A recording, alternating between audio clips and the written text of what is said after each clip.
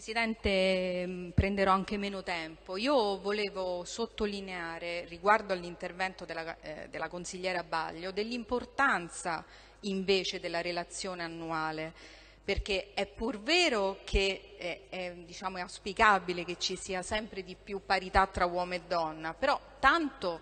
iniziamo a partecipare alla commissione delle lette, iniziamo ad apportare, a dare diciamo, dei nostri contributi e la relazione è proprio questo ha come fine, cioè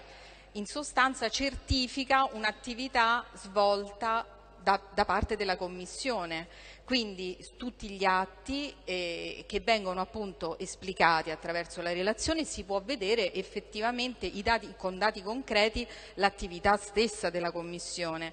Precedentemente questo non avveniva e quindi eh, se volevi diciamo, capire cosa una commissione faceva dovevi andarti a rivedere tutti i verbali, a percorrere a ritroso tutta l'attività attraverso appunto eh, i verbali e non la stessa relazione che metteva in evidenza l'attività. Quindi è chiaro no, che eh, tutti noi ci auguriamo sempre di più in un percorso di parità tra uomo e donna, però tanto cominciamo a partecipare alle commissioni, a dare gli apporti e a, a dare, a portare appunto delle, eh, delle, soluzioni, ma ad analizzare la situazione e a vedere eh, la, eh, diciamo, cosa avviene attraverso una relazione che evidenzia appunto le criticità e, e tutti i dati. Insomma.